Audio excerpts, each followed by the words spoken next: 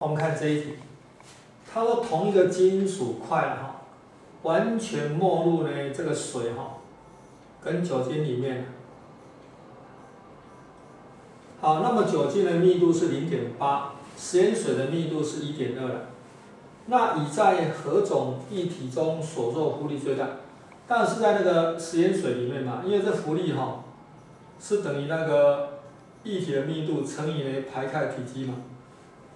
它是沉下去的，所以排开体积是一样，所以就看呢那个液体的密度哪个大，食盐水的比较大，所以呢是放到食盐水里面浮力比较大，所以答案哈，这这是第一小题啊，这第一小题答案应该选 C 哈，在那个浓食盐水里面哈，它的那个浮力最大。哦，它还有个水哦，诶，啊水的那个密度啊是等于一啊。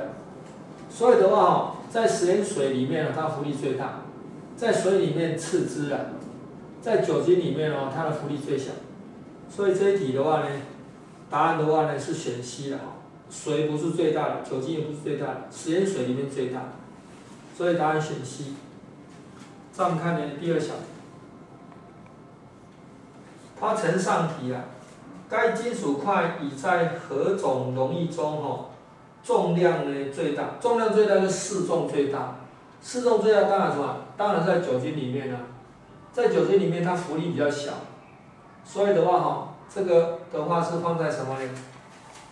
它四重哈就是什么？就是你把这金属块哈，在水里面啊，在液体里面哈有一个那个秤盘，要把它放上去。那浮力比较小的时候的话哈，它正向力就会比较大，这四重会比较大。所以应该在酒精里面的适重比较大，所以答案选 B。